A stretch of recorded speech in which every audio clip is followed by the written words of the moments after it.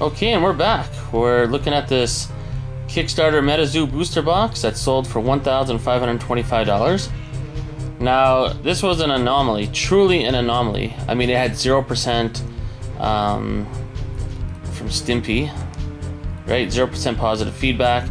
So, I mean, a lot of people probably thought it was shady, but as I've said in the other video, I talked to the person that sold it and the person that bought it, and they say everything's legit. So what can I say, right? It's legit. But just so everyone knows, MetaZoo is not going to zero because this one sold for 1,525 and it's non-alternating, which always has a premium usually, but not anymore, I guess. Boom.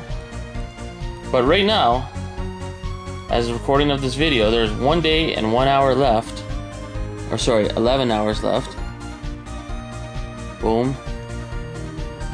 Uh, it's going to sell on Friday at 9:52 p.m. There's another Kickstarter booster box in auction right now on eBay, and it's already up to $2,100, as you can see right here.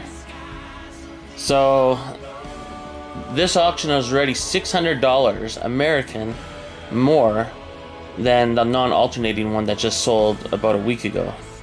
You know, maybe it's because this guy has a better uh, eBay profile, so it looks more legit. And I think that is the problem with the other one. Maybe it just didn't look legit. So, anyways, I mean, this guy sold 714 items.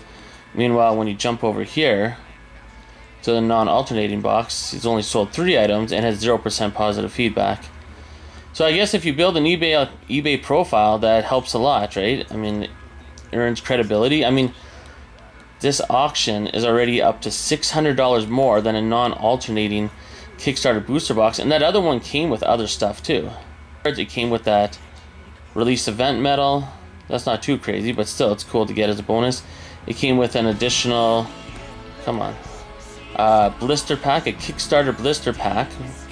So as a bonus pack with that promo, this blister pack alone is worth a few hundred dollars. So, and you got all that for fifteen twenty-five. Meanwhile, this booster box, just alone, is already $600 more. So, anyways, comment below, let me know what you think. And yeah, we'll see you in the next video.